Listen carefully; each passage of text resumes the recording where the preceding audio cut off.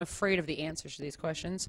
Um, can left and right wing people ever meaningfully communicate with each other? And I'm wondering if you can comment a little bit about temperamentality and the differences therein. That's what they do in a democracy. Look, the lefties, they're high in openness and low in conscientiousness. And that means they don't like responsibility that much, but they're pretty damn creative.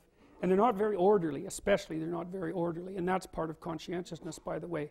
And so they're good at being artists and they're good at being entrepreneurs, but they're terrible at running things.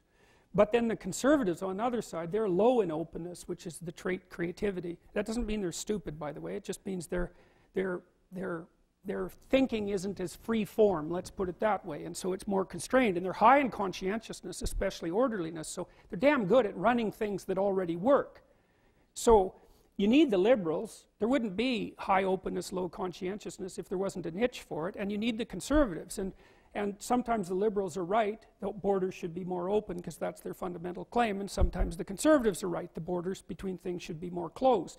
And, and because they're both right some of the time, and because the environment keeps snaking around, you have to have dialogue between the two sources constantly, constantly, so that the, the polity can orient itself as the snake of the environment moves.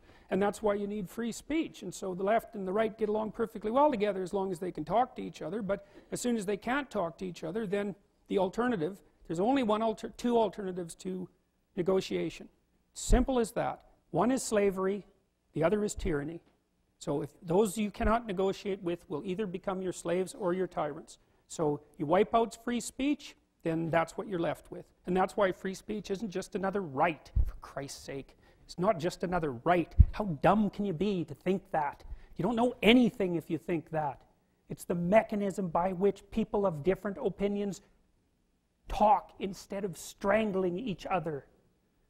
So, and but if you want them to strangle each other, which you might, then really, you might, then take away their right to express their opinion and watch the whole thing go up in flames and go like this because maybe that's what a big part of you wants.